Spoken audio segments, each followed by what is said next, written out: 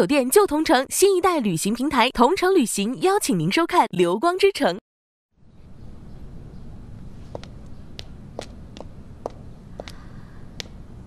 哎，这冯先生还真是有两下子哦。大少爷这么高傲的性格，他居然能相处得来，那两个人哦可开心了。真的啊？哎呀，不过是枚棋子，好用就用，不好用就弃了。Retribution，贡献。错，是报应。贡献是 contribution。答错了题，可是要受罚的。先生想怎么罚？往后退一些吧。这里可以吗？就退这两步啊？这点难度对于军校出身的荣少来说，未免也太简单了。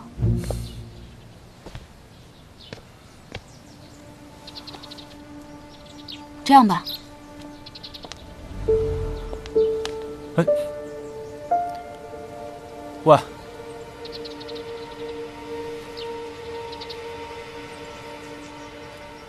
先生，这样不合规矩吧？我是先生，我就是规矩，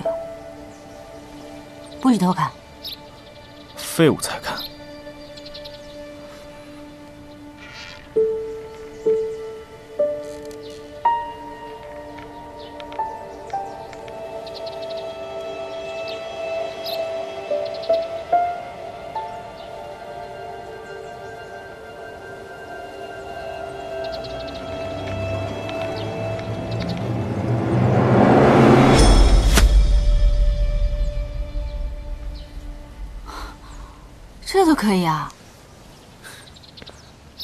先生看清了吗？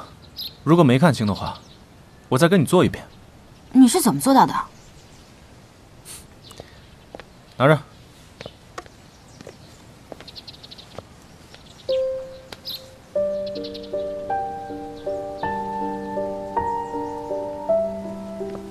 射箭重在凝神，就像这样。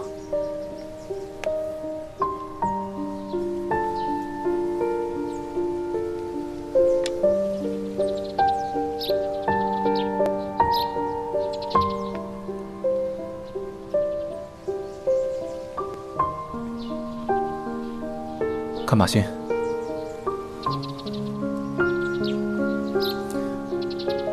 放平呼吸，吸气，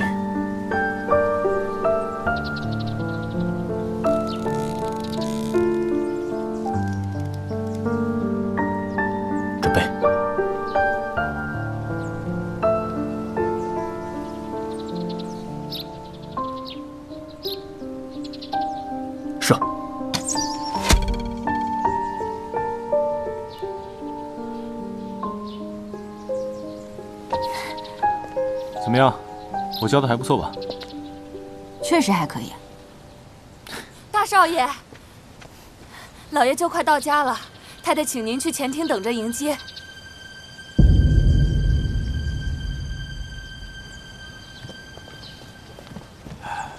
回来了，回来了，气头不错嘛。弟弟，弟弟，哎，乖吗？嗯嗯。爹。嗯，好。老爷啊，可把你给盼回来了，咱儿子都想你了，最近常常踢我呢。是吗？嗯，辛苦你了。哎，给你们都带了礼物，进来挑吧。哇，真好看。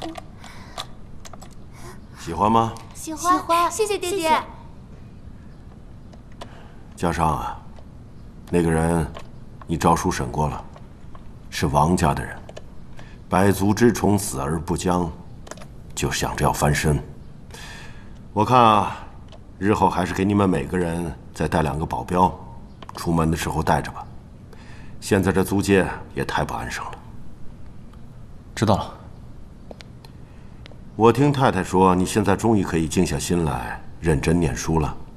是的呀，加上终于长大了，老爷您也可以放心了。谁啊？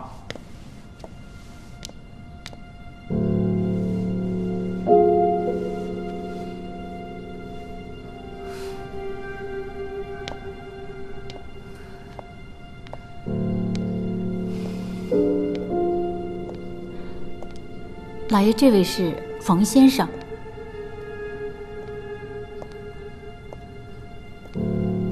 是我给家上还有方立芳画请的家庭教师。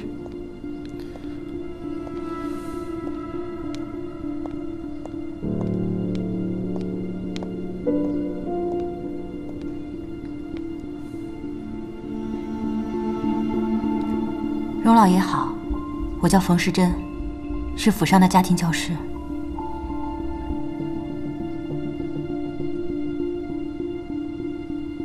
爹爹，你姓冯？是的，老爷。嗯老爷，冯小姐的背景赵哥已经查过了，没有问题的，老爷。呃，风铃也说她教的很好，就连家上也很听他的话。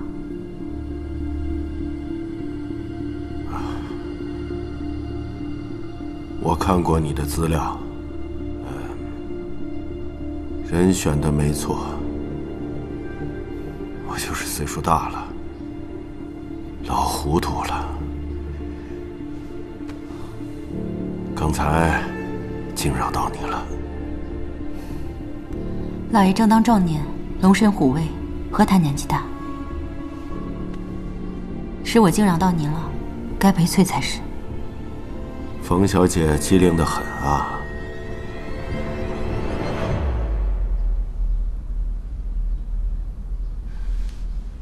坐吧。谢谢老爷。给冯先生倒茶。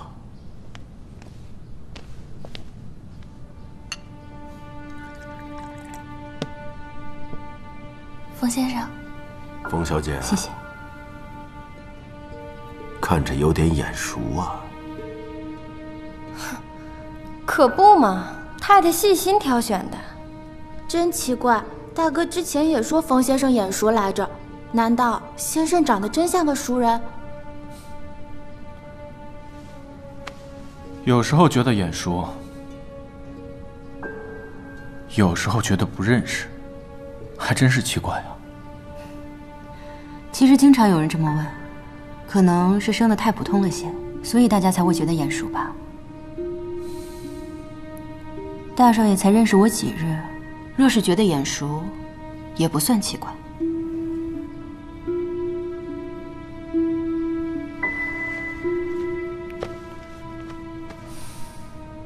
哼，看来是有人能把你制住了，冯小姐。我听说，你家原来在文春里有一家药铺。后来被大火烧毁了，幸好家里人没出大事。我爹受了伤，不过现在快养好了。没找人索赔啊？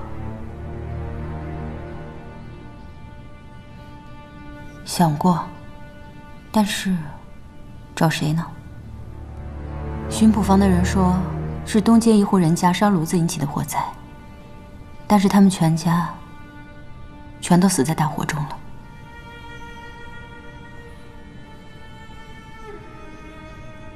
大概这就是命吧。日月盈仄，潮起潮落，人生总是福祸难测的。说得好，古话讲“祸兮福所倚”。福兮祸所伏，冯小姐将来一定会苦尽甘来的。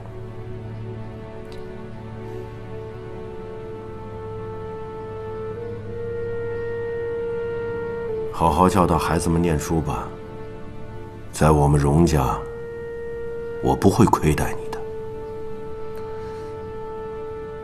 谢谢老爷。下午还有课。得回去准备一下，就先告辞了。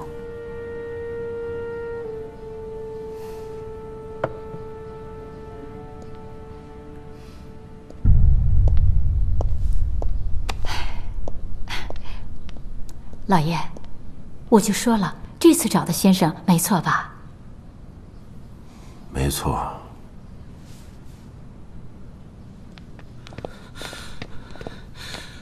朴义父，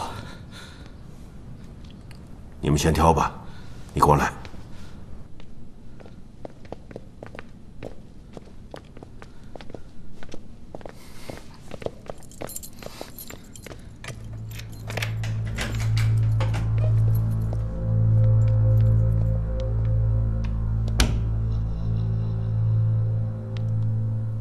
杨秀成，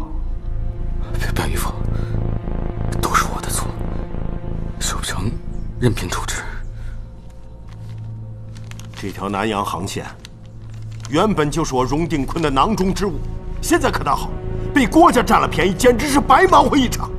义父息怒，郭家在竞标之前突然改了标底，所以才打了我们一个措手不及。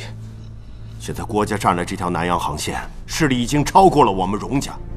你务必给我稳住局面，否则我们荣家在上海滩第一的位置就要换别人来做了。是表义父，我一定办妥。义父，你息怒，喝杯茶。你们这些没用的东西，看着真让我心烦。这次北上。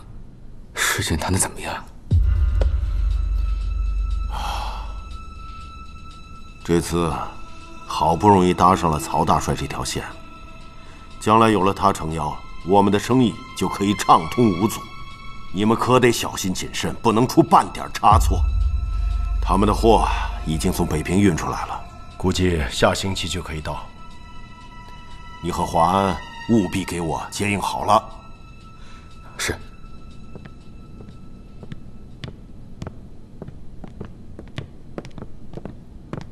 大少爷，今天下午的课，你要是没空的话，可以暂停。为什么不上课？难道是先生自己有什么安排吗？我能有什么安排？我是看老爷回来了，你们一家人团圆，也许需要给你半天的假期。先生还真是细心体贴啊，难怪我爹一见你就很喜欢你。在别人家里做活，总要讨东家的欢心才是。我也是东家，你怎么没把我当回事呢？我怎么没把你当一回事了？从一开始欺负刁难我的人，可是大少爷你呀。刚刚还当着所有人的面讽刺我善变，你倒是恶人先告状。先生哪次没有顶回来啊？也没见你吃过亏啊。我要是不顶回去的话，那就是活该被你欺负了。是不是要打不还手，骂不还口，才算讨了大少爷你的欢心啊？我可没说过。再说了，大少爷你也不是给我发薪金的人。等有一天，你把头上的哨子去掉了，再来我跟前耍威风吧。喂，下午还上课吗？上。下午抽查刚刚的英语单词。答不出来的话，就打你板子。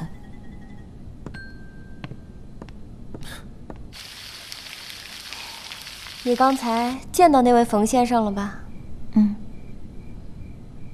听说是金陵女子大学毕业的。什么金陵女大呀？我看都是瞎编的。这就是太太看我们不顺眼，故意给我们下绊子。太太这样做对她也没什么好处，况且了。老爷似乎对她也不感兴趣，你别杞人忧天了。我就说你嫩吧，这叫小心驶得万年船。我看那个冯先生就不是什么省油的灯。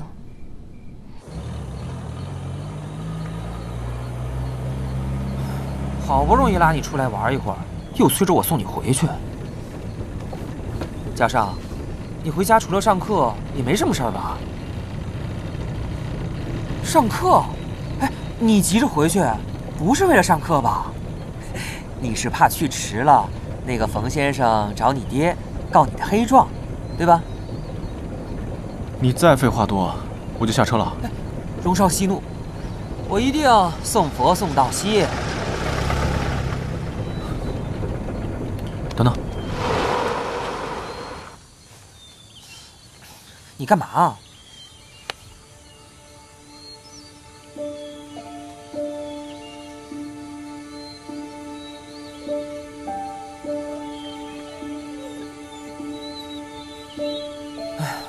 看样子救不活了。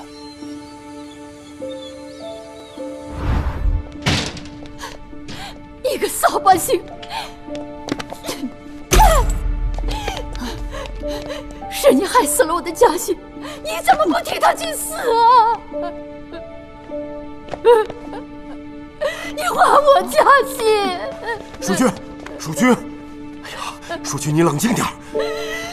让你滚！是你儿子害死了我的儿子。我告诉你，从今以后，这个家里有他没我，有我没他。淑君，你把他送走好不好？越远越好。你把他送走。淑君，淑君，来人！淑君，老爷，把少爷送走。是。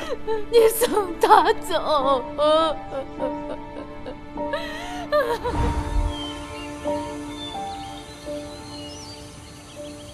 兄弟，你想什么呢？你等我一下。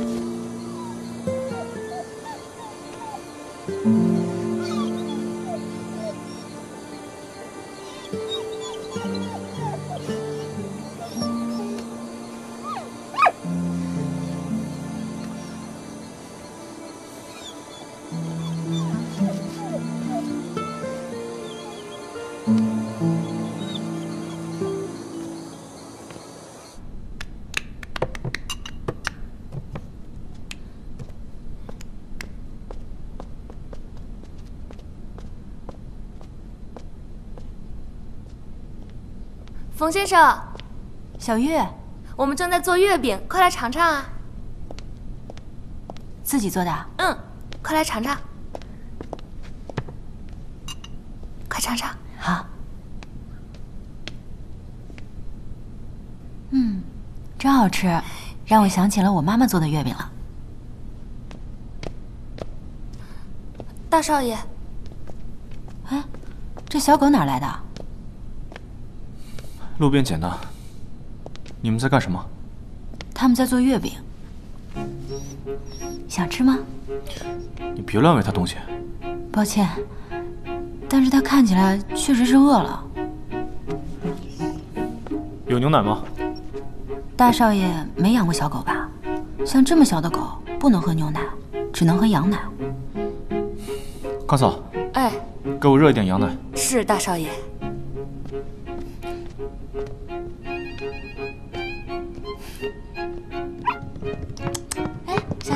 喂！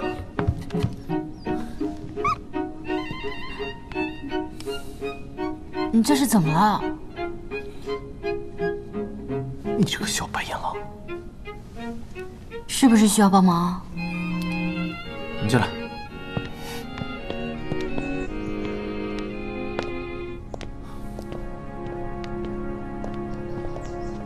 大少爷三头六臂的，怎么连只小奶狗都搞不定啊？我很早就进了军校，确实没养过小动物。大少爷刚才是不是凶他来着？没有。他刚来，对什么都很陌生，容易不安。最直接的办法呢，就是让他先填饱肚子。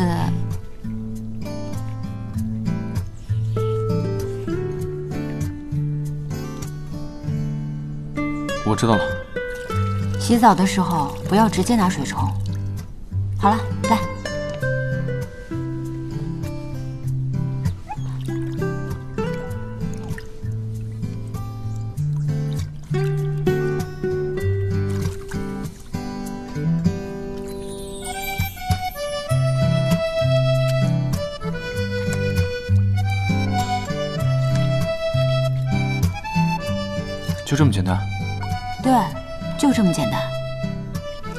试试。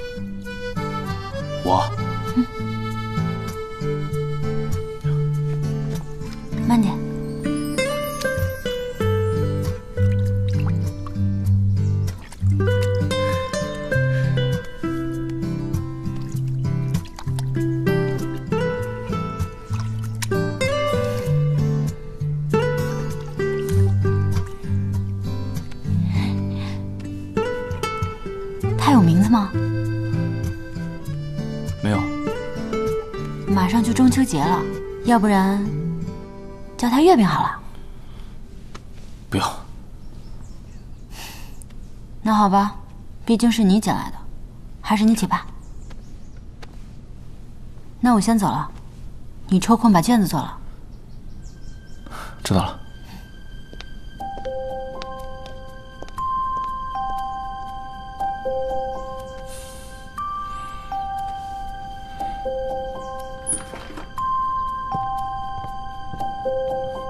先生，大少爷，做完了。我晚上要出去一趟，你帮我看一下月饼。月饼？嗯。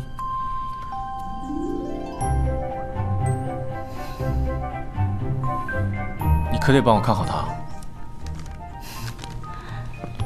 放心吧。先走了。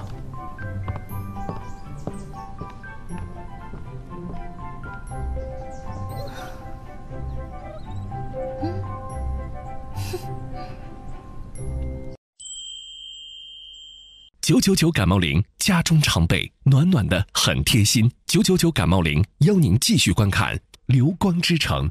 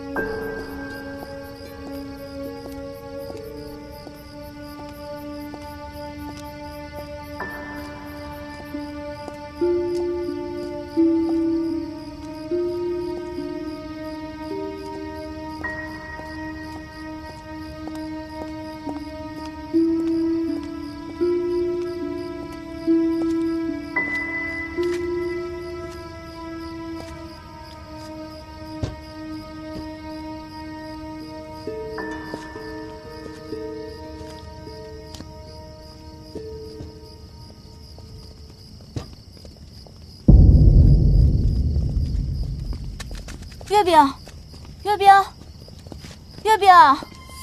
谁啊？这是？老爷。冯先生，你怎么在这儿啊？我看少爷的小狗跑丢了，我听到声音就过来找一下。我不是让你看好它吗？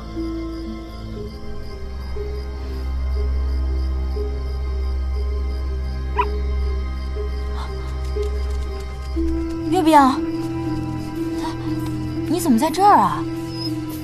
别乱跑了！哪儿来的狗啊？家里不许养这种东西，看着心烦。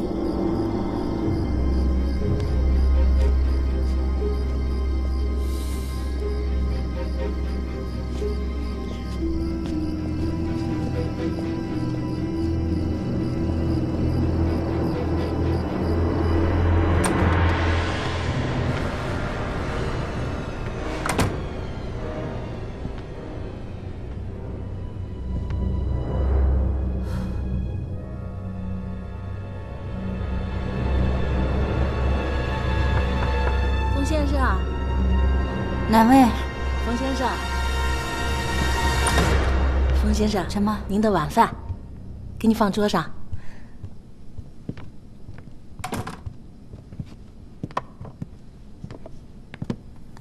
谢谢陈妈。冯先生，晚饭给您搁桌子上了，那我回去了。嗯。对了，陈妈，老爷也回来一阵子了，怎么一直没有再见过孙小姐？孙小姐。冯先生，我跟你说，老爷有烟瘾，孙小姐是给老爷伺候烟袋的人，一般不出门的。老爷这个样子，双目清明，神采奕奕的，不像是抽大烟的人啊！哎呦，你是不知道，老爷抽的可是一两黄金一两土的马蹄土熬的烟呐，这烟极好，旁人求都求不来。但是烟再好，也是伤身体的。以前这活儿是二姨太做的，二姨太连着流掉了两个男胎，就狠心戒了，拼命想生儿子，又怕别人顶了他的位置，于是就把自家的妹妹给弄来了。嗯。那这么说，孙小姐现在可是老爷最信任的人了。可不是嘛，呃呃，冯先生，你赶紧吃饭吧。那我回去了啊，去忙吧。哎，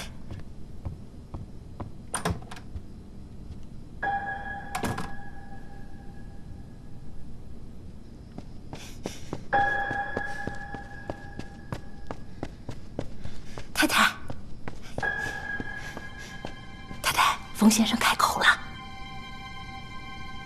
问什么了？问我们家老爷的事儿啊。他真问了？啊，这么说，他对老爷有意思？太太，冯小姐不是正按照您设计的路线在走吗？您怎么好像有点不高兴了呢？怪了。说，他最喜欢这种女学生。可是据我观察，他从来没有主动去找过她，即便路上遇见了，他也没多看一眼。也许是因为，因为冯小姐不够主动，所以老爷晾着她呢。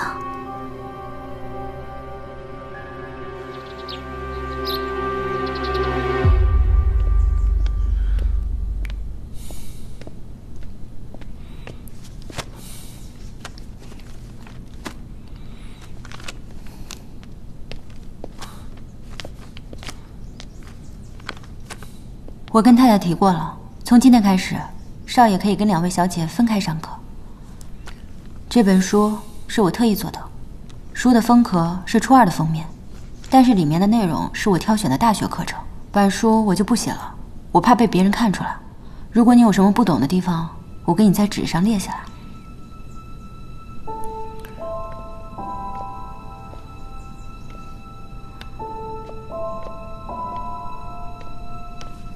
大少爷对我有什么不满，可以说出来，别憋在心里，把身体憋坏了。先生不愧是先生，不会放过任何有可能的机会。你是说昨天晚上？你不会误会我是故意出现在西塘的吧？难道不是吗？昨天晚上我带着月饼在院子里玩。结果院子里人太多了，他不知道怎么回事就受到了惊吓，这才跑到了僻静的西塘去了。对不起，是我没能好好的看住他，但我也没有想到会碰到荣老爷，实在是抱歉。难道你不知道西塘是我爹的住处吗？我听陈妈说，西塘是孙小姐的住所，老爷跟太太。不是住在东一的二楼吗？总之，你和西塘保持点距离。我知道了。那月饼怎么办？我会好好安顿他的。好了，现在可以开始上课了吗？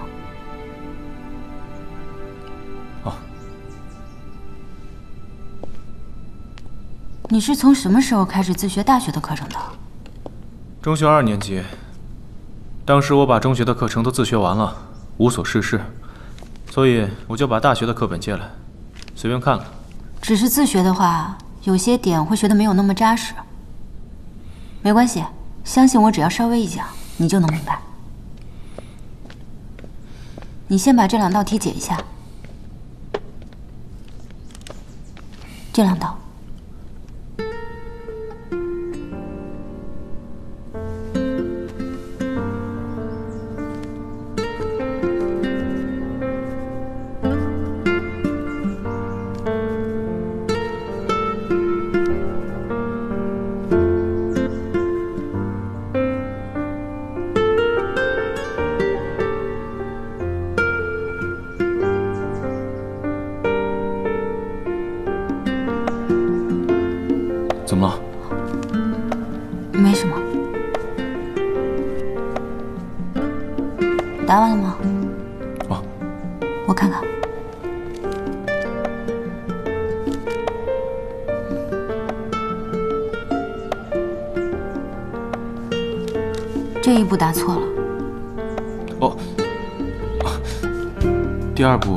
公式用错了。嗯，你看，其实呢还有这样一个解题的方式，这样就可以少一个步骤来算。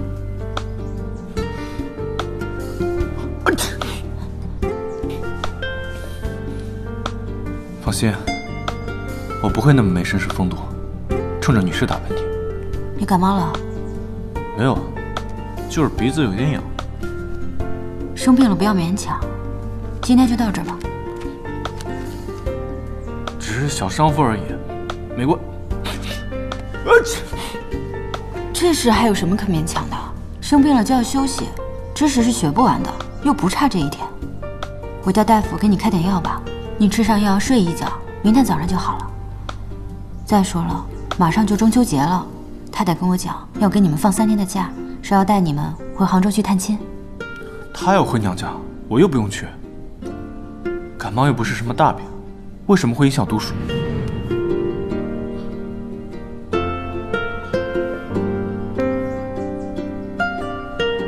大少爷，你都发烧了，听我的话，赶紧回去休息。我让听差的给你请个医生来。我真没事，我就睡一觉就好了。还说没事，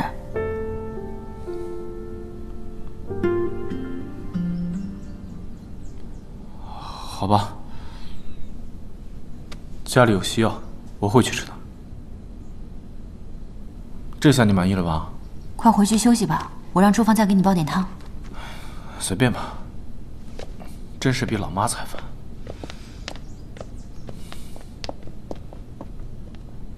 先吃饭再服药。不然会伤胃的。知道了。多喝点水，晚上好好睡一觉。你有安慰吧？抱歉，是我啰嗦了。呃，冯先生，冯小姐，你叫什么来着？我怎么叫你？啊要不是冲着你们家的钱，真想给你耳光。你笑什么？你还挺诚实的，别总是你呀我呀，家庭教师也是教师，劳烦大少爷还是称呼我为冯先生或者冯小姐。另外，我叫冯世珍，世界的世，真假的真。冯世珍，就算你真的扇我一耳光，太太也不会扣你工资的。没准还会给你个红包呢。我不打病人。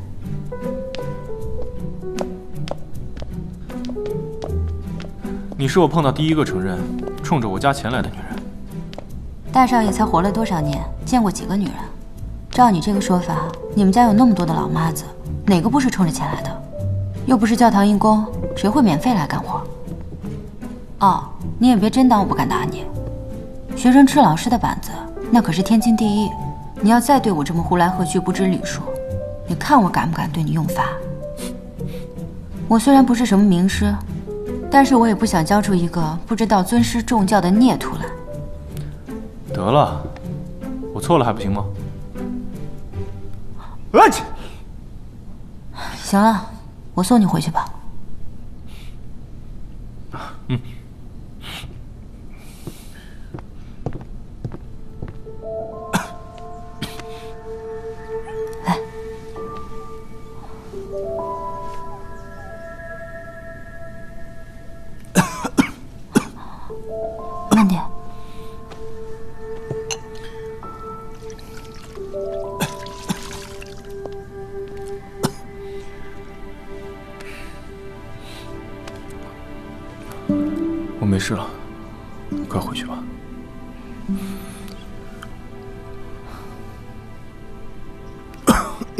那个蓝色的飞机是做什么用的？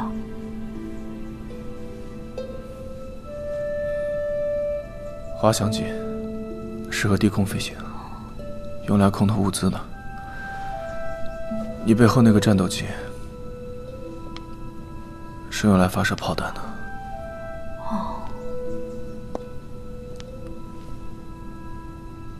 开过这种飞机吗？没有，但总有那么一天。吃了药感觉怎么样？需不需要我陪你一会儿？有什么好陪的？我躺着，你看着，那不叫陪。那叫参观，都是我自找的。那你好好休息，我就不碍你眼了。不碍眼，还算好看。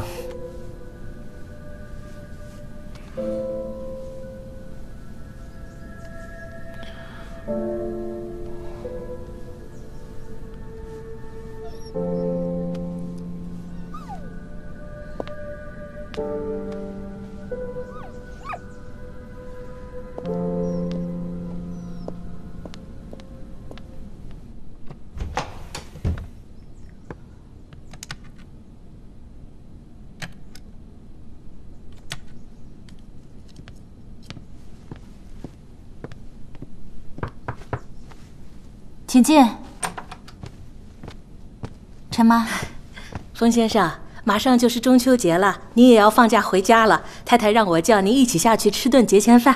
哦，好，我很快过来。那我先下去了啊。好的。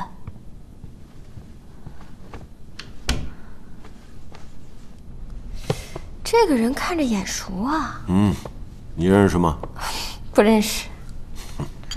咱们以前不是见过他吗？老爷，冯小姐啊，走吧。谢谢老爷。冯小姐，过节要回乡探亲吗？家父身子不便走动，只能留在上海过节了。现在读过书的女孩子都流行去洋行或者商行做事，冯小姐没想过吗？除了教书，别的工作还真的不知道能否胜任。我现在只想把书教好，不辜负老爷和太太对我的信任。一定可以的。冯小姐留在我们家教几个孩子，实在是太屈才了呢。冯先生是那种踏踏实实的人，没有那种好高骛远、不知好歹的心思。对不起啊，冯小姐，可能我说错话了。没有的事，二姨太也是一片热心。哎呀，孙姨娘，我看呀，你这动不动就爱道歉的习惯还是老样子呢。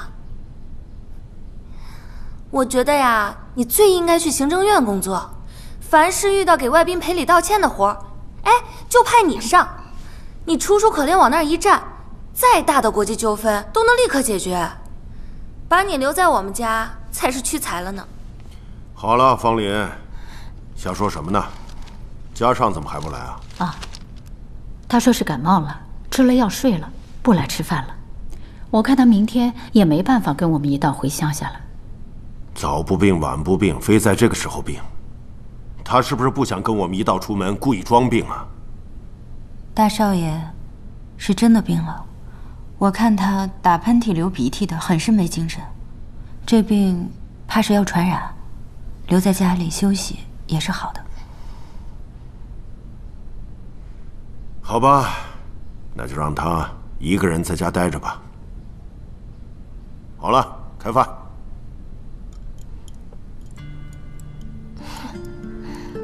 哎，多吃点儿。老爷，芳华，你也多吃点儿。嗯。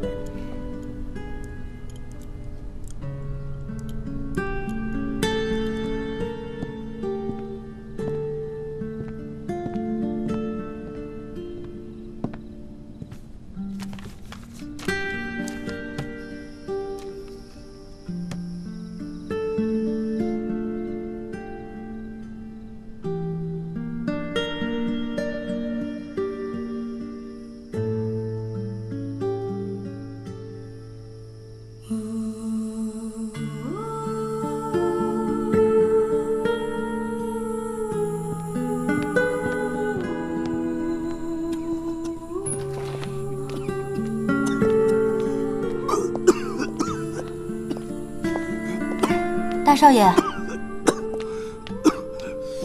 没事吧？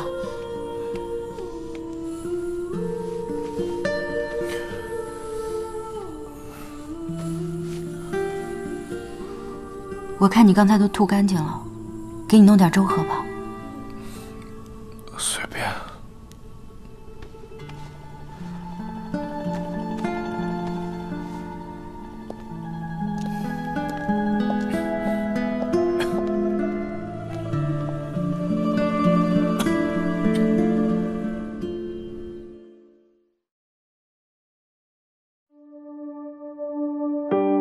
尝一丝爱的余味恨却刺痛了蔷薇。习以为常的眼泪很美你要是打不开。